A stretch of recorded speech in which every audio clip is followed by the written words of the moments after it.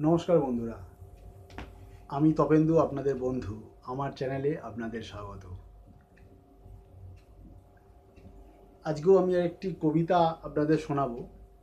তার আগে বলে রাখি যে, চ্যানেলটি ভালো লাগলে সাবস্ক্রাইব করুন এবং সাবস্ক্রাইব করার সঙ্গে সঙ্গে বেল আইকনটা ক্লিক করতে ভুলবেন না, যাতে আমার পরবর্তী কোনো আপলোড আপনি নোটিফিকেশানটা পেয়ে যান।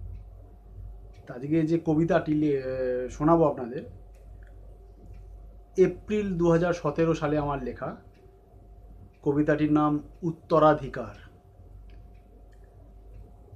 ফুলঝুরি, তোকে এক মুঠো জোনাকি দিয়ে যাব।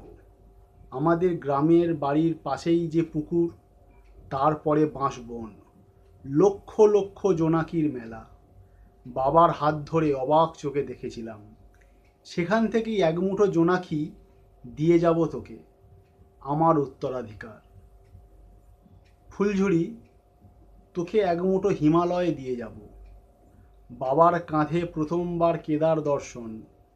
প্রচণ্ড ক্লান্তিতে আমার ছোট্ট শরীরটা প্রায় বিকল।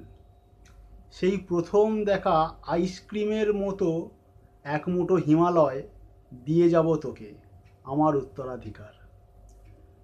ফুলঝুরি তোকে এক মুঠো নেশা দিয়ে যাব। পাহাড়ে যাওয়ার নেশা।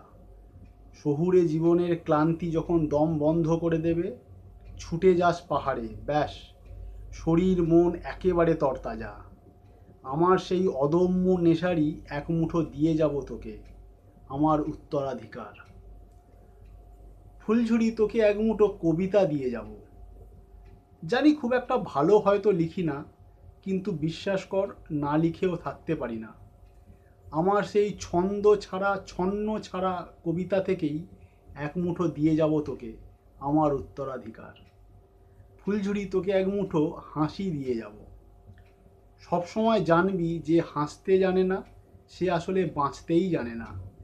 প্রাণ খুলে হাসিস আর প্রাণ ভরে বাঁচিস। দু কান এঁটো করা এক মুঠো হাসি দিয়ে যাব তোকে আমার উত্তরাধিকার। Thanks for watching this video thank you